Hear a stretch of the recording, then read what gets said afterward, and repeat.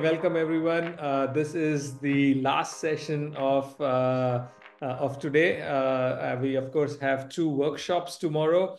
Uh, there have been a lot of questions from folks about, uh, you know, I was only able to attend one session. There are three other parallel sessions going on. Will we be able to get the videos? So absolutely, every year, you know, post the conference, we do some post processing and put all the videos out there. Uh, they will be available on the YouTube channel free for anybody to watch later. Uh, so we will put all of this back into the community and they will be available. Uh, I just wanted to quickly thank uh, all our sponsors before I hand it over to Jonathan. Uh, as we all know that uh, their support, and it's not just the financial support, right? Their support in terms of helping us, uh, you know, market the conference, help us with the content, help us on several other factors is very crucial for this community and everyone coming together uh, to make this conference happen. So just wanted to really uh, take a minute and acknowledge BrowserStack, Lambda Test, Sauce Lab, and Specmatic for supporting the conference. So, uh, you know, big shout out to the sponsors. Uh, of course, I just want to quickly again thank the program committee who's been behind it and the volunteers who've done a fantastic job throughout the day, making sure the sessions run on time, they uh, handle the Q&A, etc. So just wanted to quickly thank that with that, I think I want to hand it over to the man himself, uh, Jonathan, uh, the project lead. And obviously, you've already seen him on the panel earlier today. Uh, Jonathan, uh, it's a great pleasure to have you uh, part of this community and just wanted to thank you on behalf of everyone for leading the charter on this. I know it's a lot of work in addition to your daytime job. So really wanted to appreciate on behalf of everyone what you're doing and uh, would uh, love you to kick off the State of the Union. Thank you, Naresh. Uh, sharing my screen now. And uh, yeah, I just want to say it's an honor to be here. I always feel very excited uh, to be a part of Appium Conference. And, um, you know, I would say if you were at the committer panel just recently, you would know that if I've done anything for the project, it's mostly to put out uh, half broken code that other people feel is so bad they have to come fix, and then they become maintainers, and then the project gets along very well. So um, I think that's uh, that's mostly my role as a project lead is to uh, encourage other people to come and and uh, and do do the hard work of of fixing uh, my mistakes. So um, that's worked out pretty well for Appium. Um, so let's talk about how things are going at the project. Uh, that's kind of the purpose of this talk is just to have a check-in, give a little bit of a, a survey of um, kind of the core projects, uh, projects, the uh, sub-projects, and to also uh, do a little survey of the ecosystem and uh, look towards the future a bit as well. So um, in case this is your first time uh, running across me in the Appium community, I actually just recently started a, a brand new job a couple weeks ago and uh, on the PlayStation team at Sony um, working on kind of testing tools and strategies there as a as an engineer. Um, so very very excited about this and uh, having a lot of fun so far. Um, in terms of Appium, I've been with the project from the very very beginning. So it's uh, you know 11 and a half years now that, that Appium has been around and it's been um, a wild and fun uh, and really rewarding ride, uh, kind of taking part in everything that's been going on between then and now. Uh, when um, we first started the code for Appium, I was working as an engineer at Sauce Labs. Uh, for a while, I ran an Appium consulting firm called Cloud Gray. And most recently, before Sony, I spent um, a long time at uh, Headspin. So uh, that's a bit of my background and why I'm chatting with you today. Uh, if you want to find me on various social medias, um, Twitter, or I refuse to call it X. I don't know. Anyway, uh, GitHub, LinkedIn. I'm I'm JLipps on those places, so you can figure out that later. Uh, what we're going to talk about today is um, Appium 2's vision and how it's fared since launch. Some updates with the core Appium server, some updates with the ecosystem, which is probably the most interesting area for most of you who use Appium, because this is where the actual uh, automation platform support is. That's what we call drivers in Appium terminology. And uh, plugins, that's where plugins live, is in our ecosystem. So the ecosystem is in some ways uh, much more important to the overall Appium project than the core Appium server is, for example, because the ecosystem is what lets you do things that you want on apps on platforms that you want. We'll talk about the inspector, which is an extremely uh, important part of the Appium project. We'll talk about um, a new form of the WebDriver protocol called WebDriver BiDi, which uh, is going to be more and more relevant and which we're thinking about a lot these days for Appium. And, you know, briefly some plans for the future, as well as a very exciting new contributor compensation scheme that we've announced in recent months and a check-in about how that's going, uh, as well as, of course, always with open source projects, a request for your help in different areas, try and inspire you to get on board with us and what we're doing. So um, let's first talk about the Appium vision, right? Um, so in the early days of Appium, the goal was very simple. It was just to find a better way to automate iOS applications because there wasn't a really good way to do that in 2012, right? Um, so Appium started as an attempt to find a little bit more standard, a little bit more performant way of automating iOS apps. And it kind of grew organically from there. Um, added Android support uh, later in 2013, early 2014, and tried to support iOS and Android primarily, um, as is still the case. But then as we were working on Appium for a long time, we realized that there was actually a bigger vision here. This is what for a while we called um, star driver vision um, to indicate that we were thinking of driving all kinds of platforms and not just uh, iOS or Android or uh, web browsers. So this bigger vision was a vision of a, a flexible and kind of infinitely extensible standard automation API for all app, app platforms. So automating any kind of app on any kind of platform in a way that you could mix and match all kinds of additional functionality that's provided for for free or at cost uh, by people in the Appium community. So that was the vision behind Appium 2. So we did launch Appium 2 after you know several years of development uh, last June in 2023, and it was ready to go to um, express this vision it was itself not the kind of full completion of that vision, but it was the groundwork for it. Um, so with Appium 2, we launched uh, drivers and plugins that anybody could write and that anybody could uh, release to the rest of the community.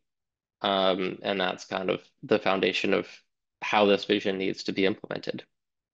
And so uh, since the release, we actually have seen the ecosystem develop in many ways as we had hoped uh, towards this vision of a completely, you know, automatable, uh, flexible future.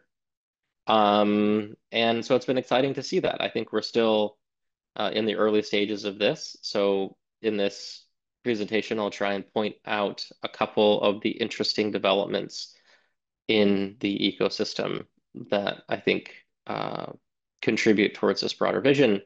And then my hope is, of course, to inspire you to continue to build towards it by adding your own components to the Appium ecosystem.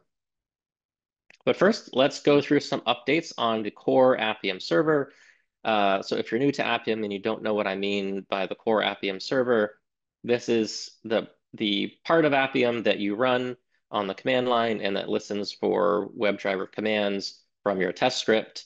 And uh, on its own, it does very little. It has to be paired with uh, what we call a driver to understand how to implement a given WebDriver protocol command on a given platform.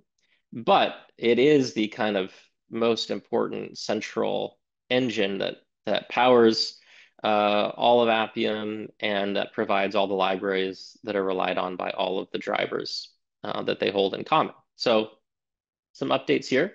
Um, because of the way we kind of conceived Appium 2, the Appium server itself has a much smaller surface area now. So things like Android and iOS drivers are not bundled into the Appium server tightly as they were before. So this means that the Appium server itself is more lightweight um, and less subject to change because we've now have a very flexible architecture that allows most of the innovation, development, uh, maintenance of platform support and custom capabilities to take place in the driver and plugin ecosystem. So the Appium server itself uh, is not intended to change as much as uh, it has in the past. So um, that's good. And that's actually what's been happening. So we've seen a little bit less uh, work here in the core server because it is inherently more stable now. Um, there are some small updates worth calling out. Uh, we now have session IDs and all um, uh, log lines, which helps to relate uh, logs to particular sessions that are running on an Appium server, especially if there's more than one running at a time.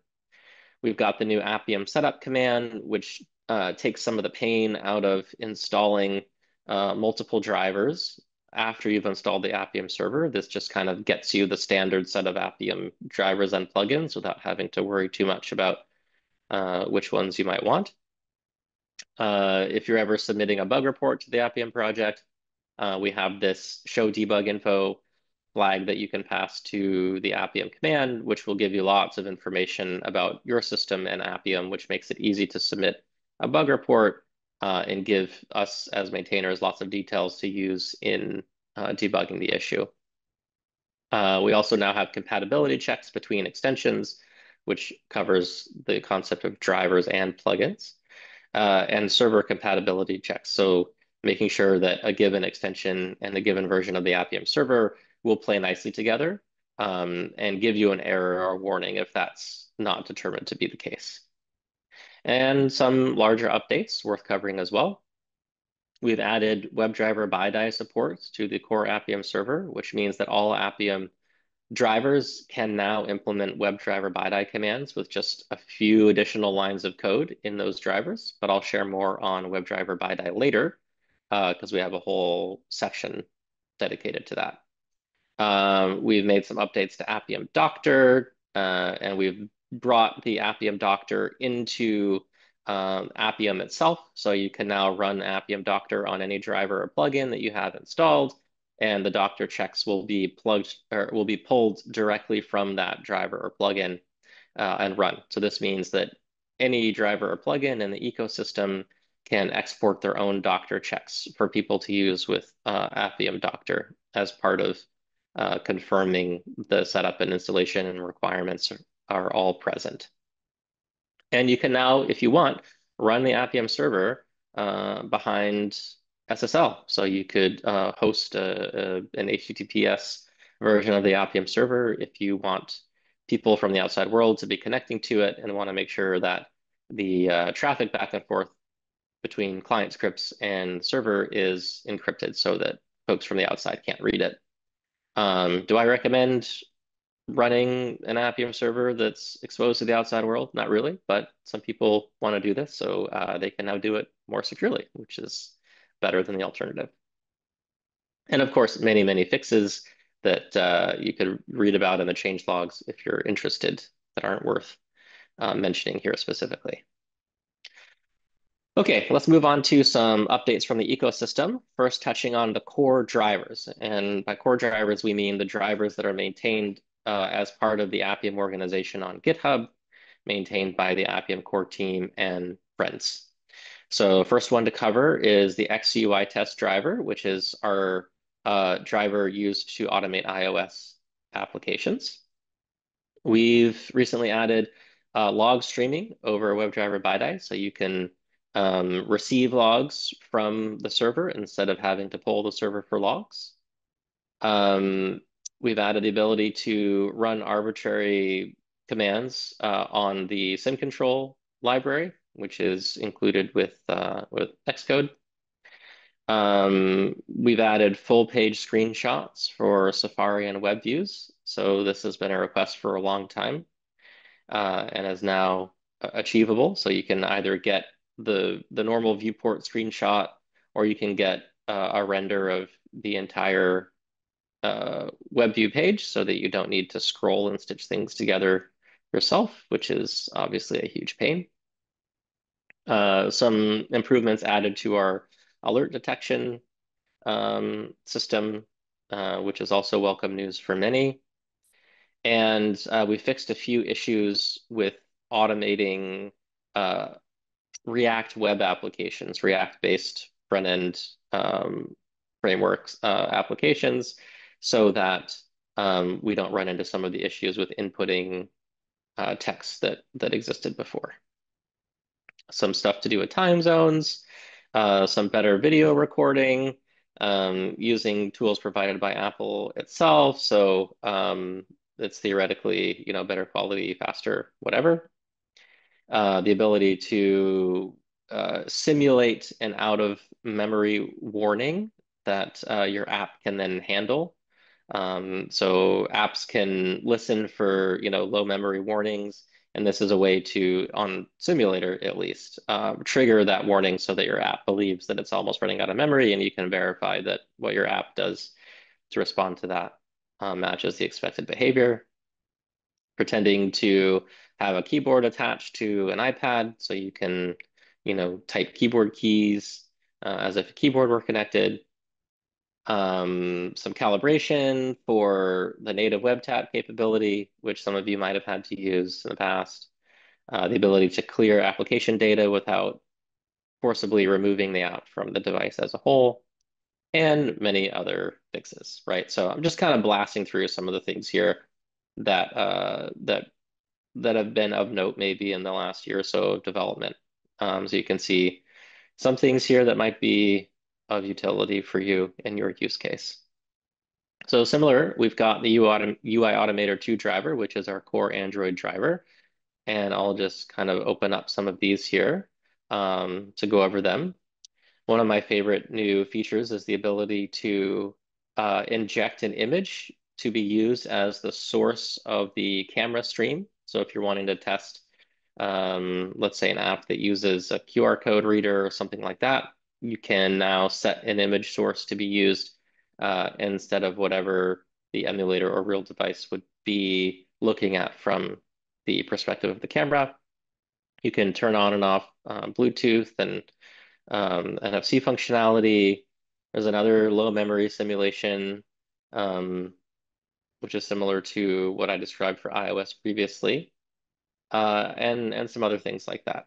Um, moving on to Espresso, we've got the ability to determine for the first time whether the Espresso server, which is kind of built and bundled into your application under test, and the Espresso driver, which runs on the Appium side, uh, the ability to check whether those are actually compatible, because theoretically you might have a new version of the driver, an older version of the Espresso server running inside your app, and those might be incompatible. And before it would just result in kind of undefined errors or behavior uh, if there were any incompatibilities. And now we have some actual compatibility checks. Um, this is something I'll touch on later as well, but we have the ability to um, actually include espresso. I should say we're working on this. It's not maybe fully fully baked yet, but the ability to um, include the espresso server as an app dependency, because ultimately it gets run in your app anyway. And previously we were kind of opening up your app and shoving the server in and hoping it worked, but there could then be dependency conflicts between the espresso server and your app. Uh, so now we want it to be kind of a library that you can include as a strict dependency in your applications so that then dependency uh, management is easier. And um, we don't need to do any unzipping of your app and shoving the espresso server in there. Instead, it's all built into your, the test version of your app. And uh, when we launch your app, the server is there ready to talk to the espresso driver. Uh, we also have the camera uh, image injection we talked about before. And some other updates and fixes. Uh, moving on, you may or may not know that we actually have a driver for um, Mac OS native apps. It's called the Mac 2 driver, just because it's there used to be a Mac 1 driver, and now this one's better. Um, and I'll just oops show you some of these features here. Um, I like that we can now have deep link support, so you can open up an app uh, with the URL that passes information into the app. If it's configured to read that information, it can, you know, open up a particular screen or a particular resource directly, um, as we're all used to nowadays when when clicking on links in in messages or web pages. Um, let's briefly touch on some of the other drivers that are, are out there. There's a, a, pretty much brand new driver for working with Flutter applications um, made by uh, our helpful friends at the Appium Test Distribution Project, um, Srini and Sai and um, Sudarshan and folks like that. Um, so if you write Flutter apps, definitely give this one a try. Uh, if you want to test Windows desktop apps, native apps on Windows, uh, for a long time you would have had to use WinApp Driver, uh, which is a project that was abandoned by Microsoft a long time ago. Doesn't really work very well. Uh, there's a new project that's worth checking out that's fairly new. Uh, well, I, guess I just said it was a new project. Um, it's uh, it, it's uh, still under development, let's say but it's worth trying because it um, is more modern and has more capabilities than WinApp Driver did. And there's actually an Appium uh, driver wrapper for it as well, so you don't need to um, uh, launch the uh, the server yourself. It can be automatically downloaded and run, and um, you can just plug it into Appium using the Appium driver install command there. And then on the media front, um, at uh, Headspin, the uh, the team there has developed a Roku driver, a Tizen TV driver, and an LG Web OS TV driver. So if you're building media apps for any of these TV platforms, um, these are you know very full featured and have a lot of ways to automate and um, check out the uh, source of the app and stuff like that. So recommend checking out these other drivers. And then a quick tour of some of the plugins that are available currently in the ecosystem. Um, I'm not really going to talk about changes to the core plugins. So core plugins would include things that um, the Appium team ourselves maintain, things like the images plugin that allow you to uh, find an, an element on the screen by a template image, things like um, the Universal XML plugin, the Relax Capabilities plugin. Uh, there might be one or two others there. Oh yeah, the Execute Driver Script plugin. These haven't really changed much in the last year. Um, they basically, this is one of the nice things about plugins is they can have a very kind of small constrained focus and they can basically be done uh, without needing lots of continued development and still provide the utility that they're meant to provide. And people can just mix and match plugins uh, for different purposes. Um, some uh, some new plugins in the last year, or at least largely updated. We've got the Appium Device Farm plugin, which is um, very interesting. It's got a kind of hybrid open source model where much of it is open source and it the whole thing remains free to use, um, which is nice. It's basically a plugin that allows you to host a local device farm and to call out to cloud services like Sauce Labs or BrowserStack or Headspin or Lambda Test. I'm pretty sure it supports all of them for extra capacity or for devices that you have uh, on those cloud services instead of locally. Um, you can check it out here. Um, I'll show a video in a second that I got from uh, from the ATD folks about um, how with the Appium Device Farm, it even uses some some clever technology under the hood to allow you to connect up devices, iOS devices to a Linux host and make them available to uh, your device farm, which uh, is pretty cool. As in the past, you've often had to have Macintosh hosts uh, in order to connect iOS devices and automate them. Um, and so this kind of introduces a lot of flexibility into your uh, kind of homebrew device farm. There's an Appium uh, large language model plugin that I kind of wrote experimentally a little while back at Headspin, and it kind of it it uses uh, LLMs like ChatGPT and some interesting prompt engineering to allow you to send in a description of the element you want to Appium and have it come back uh, with the the actual element uh, resource. Uh, and what it does under the hood is simply it tries to uh, turn your natural language element description into a locator that your client can use to uh, get a handle of the actual element. And it, it works sort of. Um, anyway, there's uh, there's a webinar out there on this that you can find that's public. I would say it's not very useful yet, but I think it's an example of how uh, someone out there smarter than me could probably um, create some interesting uh, AI ML plugins for Appium um, maybe using this as some some inspiration and maybe giving us some more useful AI/ML uh, functionality into Appium in this way. There's the link for that. Uh, there's an Appium wait plugin, um, which I think is kind of funny because it, to me it, it's basically uh, a plugin that brings back implicit waits, uh, which for a long time we were told not to use, but um, there is something very useful about them if it works for your case, worth checking out. Here's a little video that I mentioned of um, a couple iOS devices connected to Linux hosts in the form of Raspberry Pis, so obviously very cheap Linux hosts, and then the uh, the Appium Device Farm plugin, which hosts its own website, its own web application that you can access locally. And here we have an example of um, the manual remote control feature of the Device Farm plugin, being able to remote control these iOS devices uh, that are connected to the device farm plugin via these uh, Linux Raspberry Pi hosts. So that's a uh, that's it's pretty cool. It's it's a it's a lot of features living in a, a single Appium plugin. So I think it shows the power of Appium plugins that can be something very small, like something that just translates XML from one form to another, or something very massive, like an entire uh, device farm here with its own web interface. Uh, so that's pretty, pretty cool. Um, some more plugins that I'll just briefly mention. Um, we've got a gestures plugin that takes the work out of having to construct your own touch actions for gestures if you don't want to.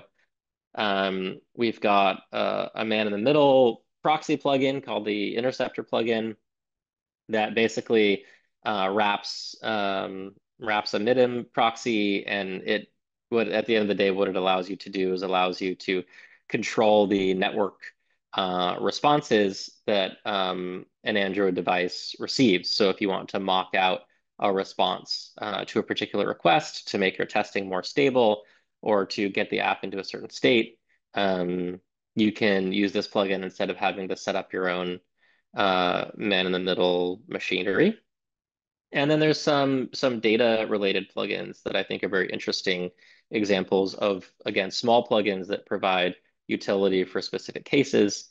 So um, if you're hosting an Appium server somewhere and you want to get information about how it's operating or how commands are running or how long commands are taking, the number of commands that are happening, um, the kinds of you know observability metrics that we take for granted nowadays with any kind of hosted um, service, well, you've got a couple plugins here you can choose from to send the data uh, transparently from the Appium server about everything that's going on to an external uh, data store so that you can examine that data with the tools that you're used to using. And we've got some cool inspector updates, uh, much better documentation that uses the standard Appium docs, the ability to actually rename your saved capability sets, um, some improvements in how we auto-generate um, suggested locators when you click on an element in the um, inspector view. Uh, so you can see here in this example, we now have things like um, conjunctive uh, attributes where an element might not be unique by its name, but if its name and its label um, together create uh, the ability to find an element uniquely, then we'll actually be intelligent enough in our heuristic here to um, suggest that. We've uh, refreshed the way that code generation works in our recorder um, so that it's now up to date with kind of the latest uh, ways of using each of the client libraries that are supported for code generation in the recorder.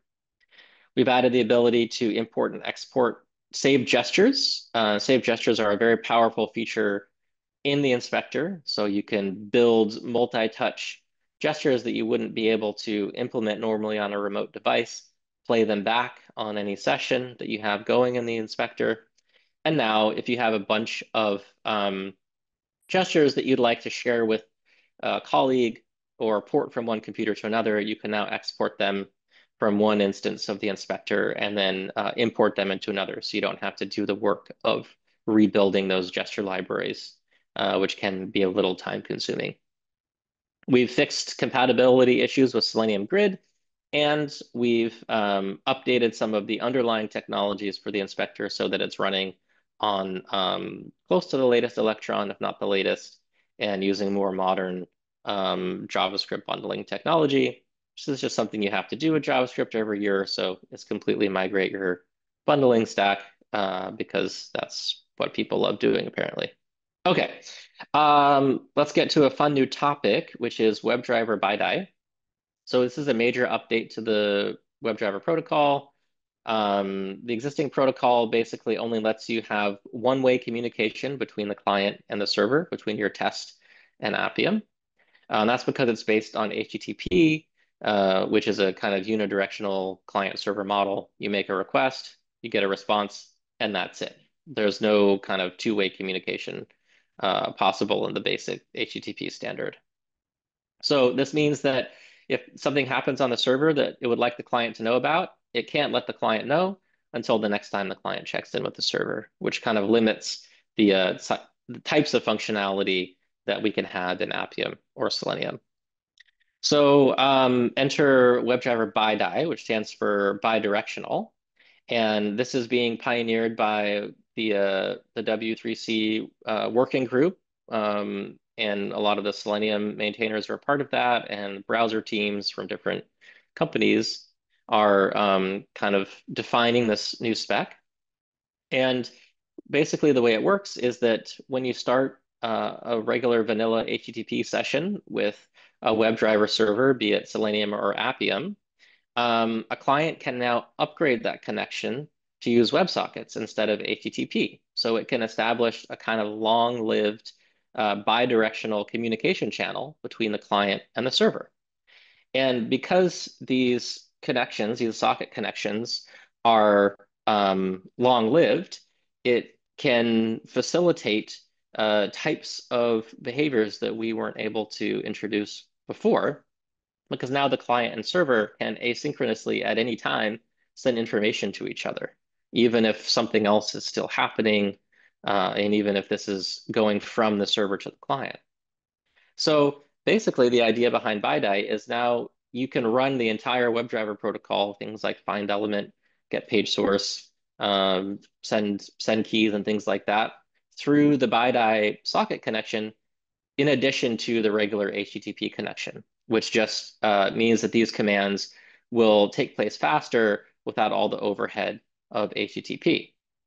So schematically, again, it kind of looks like new session request goes from client to server, new session response comes back from the server to the client, but it includes this new BiDi socket URL uh, in the new session response that the client can use to say, all right, the server speaks BiDi. I'm going to open up a connection uh, to its BiDi socket. And then from then on, all of the WebDriver commands uh, that it wants can be sent over this connection. Uh, and it, the server can even send async events back to the client at any time until the end of the session. So uh, this enables new capabilities like notifying events that happen in the app under test or platform, like an alert has appeared, a page is navigated. We need some auth credentials for this. Uh, a download is starting. A new log has been added to the console. These are all browser examples, for example. Uh, we can add uh, the ability to do essentially what you would have needed a man-in-the-middle proxy to do before, to tell the browser to respond to a network request with some custom data instead of actually going out to the internet and getting that data from the host. And this is just the beginning, right? We we don't uh, we haven't plumbed the depths of what's possible to do here with BiDi. We're still thinking about it. Specifically for Appium, uh, as I mentioned before, the server now supports BiDi. And um, you know, Appium drivers can now say that they in particular support BiDi and can implement uh, BiDi specific commands or send events to BiDi connected clients. Of course, uh, native apps on iOS or Android, for example, are not web apps. And so our XCUITest driver or UiAutomator2 driver by default don't come with all of the kind of web standard BiDi commands. Uh, some of them wouldn't even make sense for native apps. Um, so we're at the beginning of this process with Appium of figuring out what sorts of commands we should add BiDi support for. And so far, we've just added one or two things. Um, at, at this time, with the latest XCUITest and Android drivers, um, you can actually set up a, a BiDi event handler to be notified whenever there's, uh, for example, a system log uh, or an Appium log that's been added. So you can receive that and, and handle that asynchronously rather than having to pull the server for those logs using the, the get log uh, HTTP method or something like that. What's next? Uh, video streaming uh, would be a good example of something that we would want to do so that, you know, right now, if you want to get a video recording of your Appium session, you have to start it using one command and then stop it some other time in your test. Uh, but if that time is very far from the time you started the video, the generated video might be multiple gigabytes, many gigabytes, and it might cause problems uh, in memory or on disk or going over the wire to your client. So you could imagine in a BiDi world, uh, the code on the right is sort of a pseudocode example of what you could do, where you could just get chunks of uh, streaming video at any time and do what you want with it. You could forward it to somebody who's watching that live. Uh, you could write it to a file and avoid the memory overhead of trying to process a gigantic video all in memory. Um, you can convert it, you can do analysis on it, you know, frame by frame, whatever it is. So it just opens up a lot of possibilities for some of these more advanced use cases. So uh, some of our plans for the future, uh, just touching on before we wrap up here and open up for a few questions. Uh, we want to continue to work on the main server. We, as I said, want to improve the Espresso driver dependency situation so that this driver is more accessible to people uh, who who are are not maybe um, professional Android engineers. Um, so this should make it a little easier to use and consume. We want to continue to maintain our core drivers and plugins and also encourage the development of drivers and plugins in the ecosystem. We want to see more and more of those types of plugins I was giving an example of in this talk. Um, we know that WebDriverAgent is kind of aging technology at this point. It's what powers our XCUITest driver. And we would love uh, some help probably in evaluating that technology and seeing how we can improve it um, or you know do something new as iOS technology from Apple continues to evolve. And we want to keep exploring WebDriver BiDi and see what kinds of new automation behaviors and capabilities um, we can we can expose to you all uh, to improve the way your tests work. Um, and then, yes, we want more maintainers always with an open source project. Uh, please come and help us. Um, to that end, I wanted to just briefly touch on um, our new contributor compensation scheme, which is very exciting. Um, we have a sponsorship program now, which lets companies uh, give us money as the Appium project. Um, very excitingly, um, our main two sponsors, what we call strategic partners nowadays, are uh, Sauce Labs and BrowserStack. And uh, they're donating money to the Appium project every month. And we've decided with this money um, to open up a compensation scheme to actually pay people, you know, cold hard cash for contributing to Appium, um, which just feels really great to give something back to people that are contributing to the project whether they're maintainers or even just one-time contributors. So um, we've actually just sent out our first round of, of payments to you know dozens of people who've contributed over the last couple months, and um, it's very very exciting to be able to give even in a small way uh, to people who spent time on the project. So uh, if you contribute to Appium, you can look forward to you know maybe receiving um, a notification that your your change is uh, is eligible for compensation. So thanks again to BrowserStack and Sauce Labs for making that possibility for us. Uh, and as always, you can help us uh, make Appium better. Um, you know, documentation is always huge. Creating more drivers and plugins in the ecosystem, um, making small contributions and maybe getting paid for them, uh, and being nice to our sponsors, right? Uh, saying thank you to them for how they're helping uh, develop and um, maintain the Appium community as well. So very, very uh, fast-paced State of the Union here. Um, special thanks to um, some of the other core maintainers for giving me ideas about things to talk about. And now I will leave it up to Naresh to uh, tell us how much time we have for questions, and I'll be happy to spend as much time uh, as as uh, as I can. Cool. Thanks, uh, Jonathan. I think uh, we've uh, just started getting some questions in the Q&A. So let's see. Uh, depending on how many questions, I guess we can spend easily five to 10 minutes.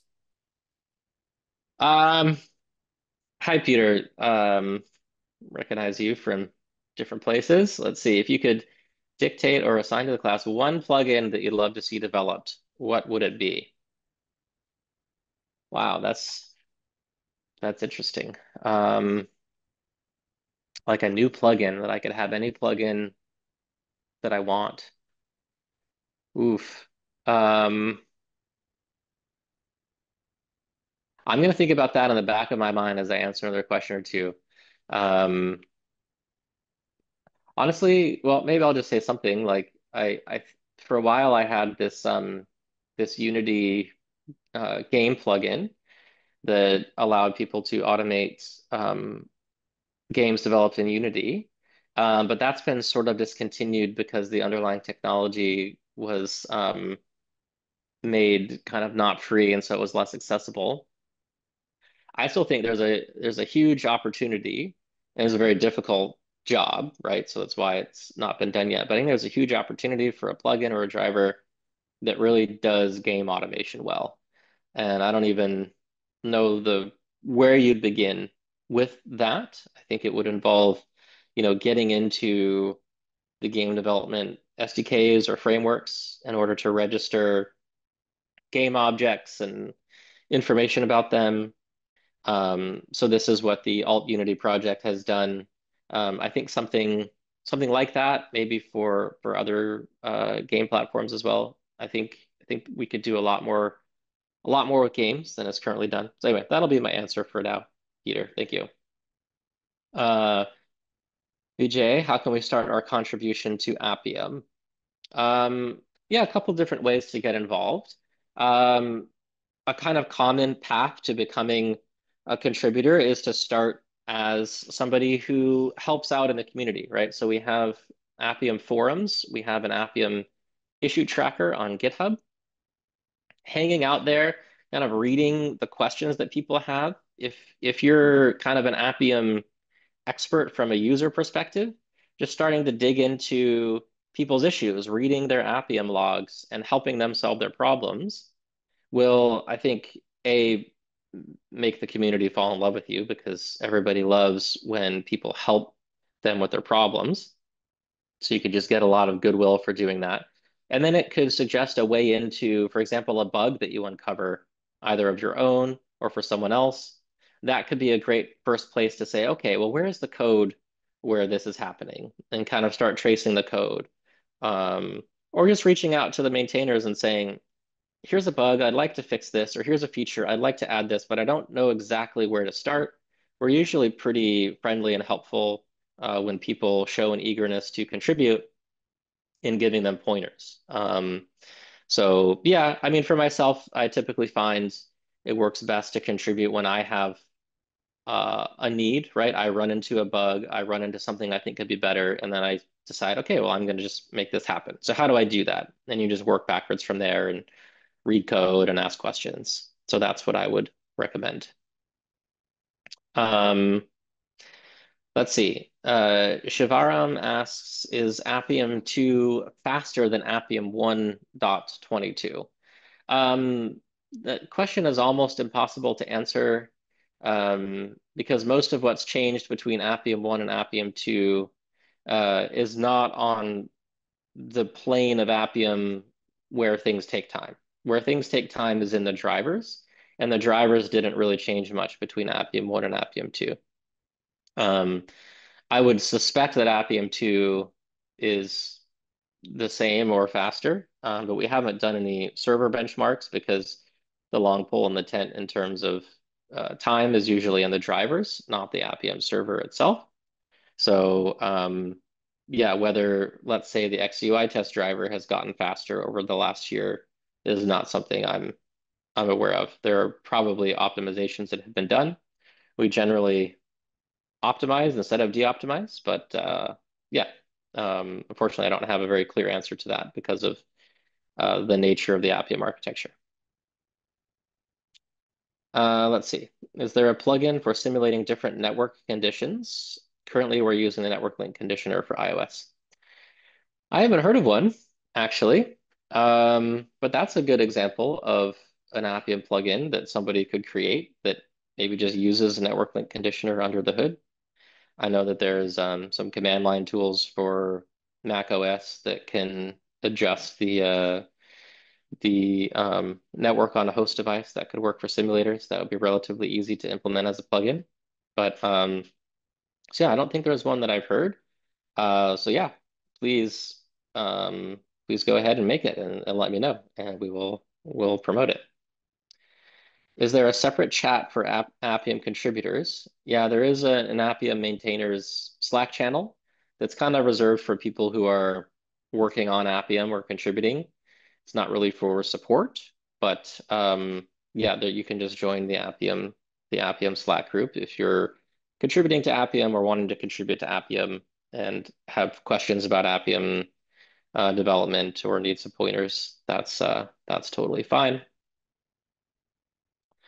Um, oh, we've got one of the most asked questions of all time, which is about snapshot max depth being set to two um, on Appium.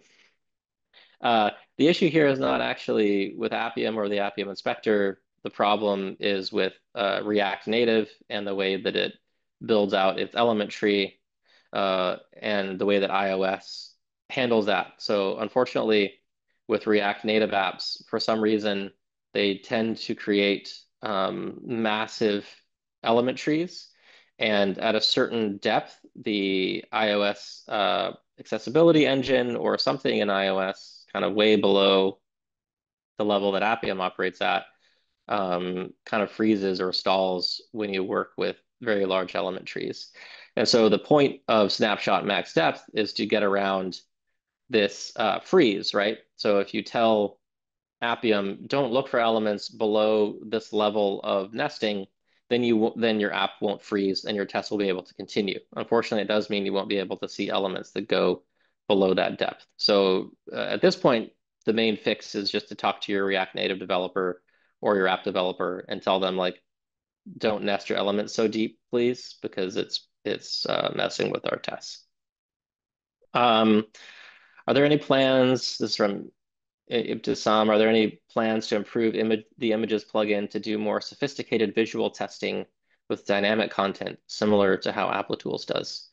Um, there aren't any plans to significantly improve that at the moment, um, but if somebody has an idea of how to improve it, we would obviously welcome those changes. Um, you know, Applitools has obviously spent many years developing extremely sophisticated approaches and and algorithms and uh, machine learning models and whatnot to do what they do, uh, we're not likely to um, match that anytime soon. But if there's some more utility that we can get in the images plugin, uh, we're happy to consider that. If there are specific requests or specific ideas of how to achieve them, just open up a ticket on the Appium repo, please.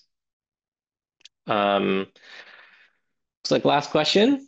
Anil says uh, that uh, their React Native app is facing an issue. How can we contribute to Appium to fix the issue? Um, how can we figure out the actual issues since the Appium logs are not enough? That's a hard question to answer without knowing any of the specifics, just because, um, yeah, if it's an issue with the application itself, there are often not indications on the Appium side of things of what's going on. I would say the next step is to clarify exactly the nature of the issue, read the iOS system logs. If it's like a if it's a crash, for example, there'll be something in the iOS system logs um, that you can look at and maybe find a stack trace or a crash report or something like that. So cool. Yeah. we're pretty much out of time. Uh, I know it's late for some folks, so probably we'll wrap up uh, if that's okay, Jonathan. That's great. Yeah. Again, uh, you know, apologies for the uh, breathless pace of this presentation, but I wanted to pack a lot of updates in uh, and especially let you know about WebDriver BiDi, which is an important new thing that we'll all be learning more about. And um, thanks for your, for your questions. And thanks so much to ConfEngine and ConfEngine staff and volunteers for this conference. I can't express how amazing it is to have a team that basically just runs this whole thing. Um, they're really, really great. And uh, this is a, a huge gift and blessing to the community to uh, to have folks who are able to organize this conference for us. So um, please, please continue to support ConfEngine and, and go to all their conferences. And um, yeah, I guess that's it for me.